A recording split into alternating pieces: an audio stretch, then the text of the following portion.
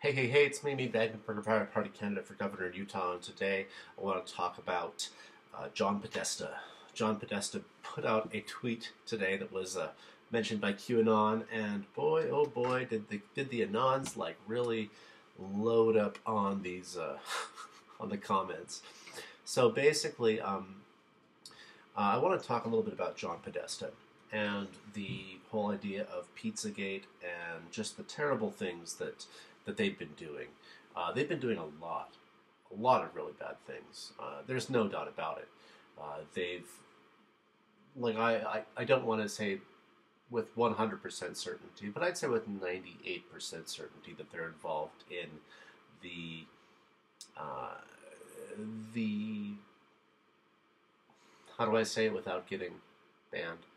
Um, the adult activities with children and the um, ceasing of life of said children and the eating of said people that have had their life ceased um, and the uh, and the pineal glands and all that stuff.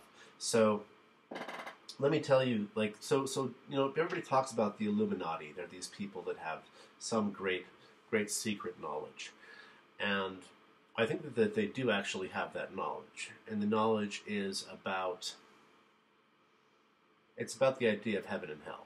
Like uh, I, I'm, I do believe that heaven and hell, as it's understood by mainstream Christianity, is not real.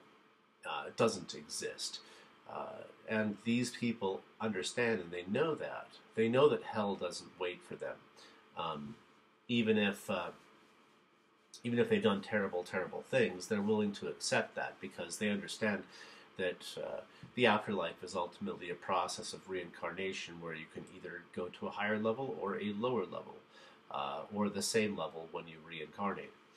And so they understand that there is no like eternal damnation. So if there's no eternal damnation, then why why worry about it? Because you can just work your way back up, and that is absolutely true. But and so and, and so because there, there's no eternal damnation that the that you know go ahead and live this life the way that you want to live this life and debauch and and do terrible things because you know you will get other chances in the future. And even though I think that it's kind of uh, it's kind of despicable to do that sort of stuff um, I understand where they're coming from. Um, like you know it's like hey if, if, if you don't have a hell to fear like why why would you even be a good person to begin with? And so in that sense a a person like that can do despicable things and he knows that that he's not going to suffer the eternal punishment that Christianity uh, gives him because that's not the way that the world and the uh, universe and the afterlife really works. I mean, he'll be re- he'll be reincarnated as a cockroach. I mean, he's going to have you know many many lifetimes to work his way back up to even being human. You know, eventually he will, and and hopefully, you know, like you, you get all your memories wiped and stuff like that, so you don't really remember. But eventually, you'll get to the point, and everybody will eventually get to the point of uh, recommuning with um, the with God uh, but but there's no like eternal damnation. And in fact, my personal position is, is that we live in hell. Like hell is actually um, existence itself is hell. It's for somebody who didn't do the right thing. Like they've got to do it again and try to get it right. And then once you achieve, once you do it right and you get it and you understand and you achieve enlightenment, then then you become uh, you go to the higher plane of existence.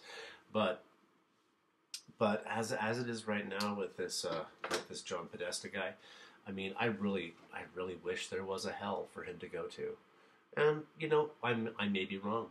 Hell may exist. I don't think so, but hell may exist. Um, heaven may exist, but uh, I think that if it does, there are very very very few people who will be getting in people that think they will uh, definitely won't. so this has been Meatbag McMurka, Pirate Party candidate for governor in Utah.